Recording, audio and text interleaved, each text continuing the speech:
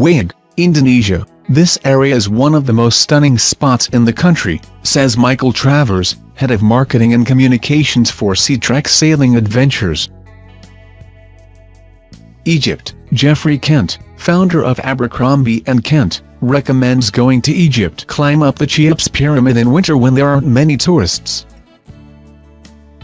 Abanotubani, Tbilisi, Georgia. The baths in Abanotubani have thermal water that bubbles up naturally from the ground below, says freelance photojournalist Sarah Freeman. Tbilisi gets its name from the Old Georgian word "bili," meaning warm, due to its hot, sulfurous water.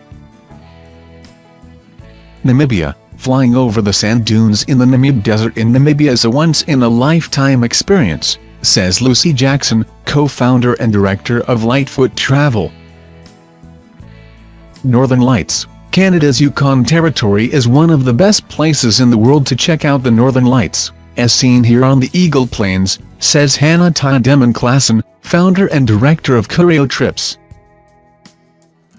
Minas Gerais, Brazil this is the mining heartland of the country but there's also untouched wilderness, a flourishing art scene and it's home to the rare woolly spider monkey, says Matthew Lapolice, luxury travel manager at Absolute Travel.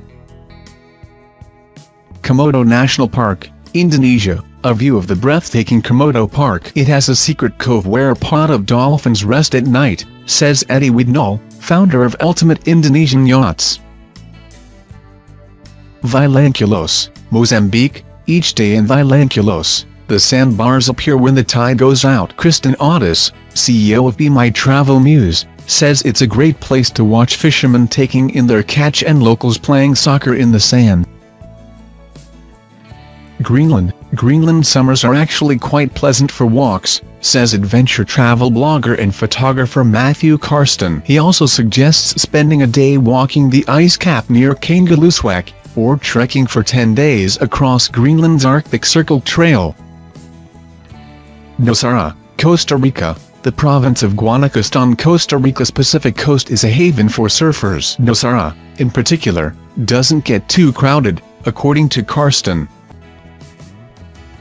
Train between Belgrade and Montenegro, the 296-mile journey between the Serbian capital and Montenegro's Adriatic coast is one of Europe's most spectacular train rides, says train expert Mark Smith. It summits at over 3,000 feet above sea level in the breathtaking Montenegrin mountains.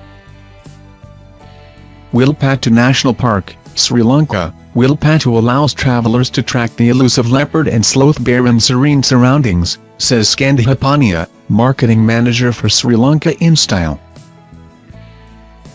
San Francisco, rent a bike and cycle along the city's spectacular waterfront stopping at Pier 39 for clam chowder before heading over the Golden Gate Bridge, suggests Will Swinburne, senior first officer at British Airways. Jamaica, stunning scenery and musical history make Jamaica worth a visit, says Matt Vlemix of Elegant Resorts. James Bond fans will want to head over to the beach at Goldeneye, where Ian Fleming lived and wrote many of the Bond novels. Eco Retreat in Kenya, Segera Retreat in Laikipia County is a place to reflect with nature and solitude, suggests Michelle Karam, founder of Travel Junkie Diary. It's also focused on sustainability, using solar energy, recycling, and growing its own food. Blanchisseuse Beach, Trinidad, Caitlin Smith, founder of the Remote Nomad, suggests heading to this beach in Trinidad to see baby turtles, surf, eat seafood and pick up some local slang. Borobudur, Java, Indonesia, for an extraordinary experience, it's impossible to beat visiting the 9th century Buddhist monument of Borobudur, says Sophie Marchant, travel editor of LuxuryExplorer.com. Trek through India's Himalayas, Maxine Headley, Smith 24 travel expert, suggests going to the Himalayas where days are spent adventuring and nights mean sleeping in base camps under the stars.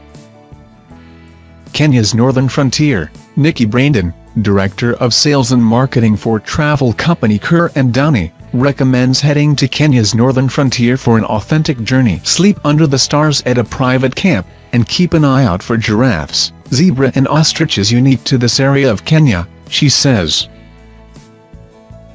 Victoria Peak, Hong Kong, people don't really think of walking in Hong Kong, but the city's great for it, says Charlie Stewart Cox, Cathay Pacific General Manager for South Asia, Middle East and Africa. Walk around Victoria Peak, where sections of the path are on the cliffside with the best views of the Hong Kong skyline.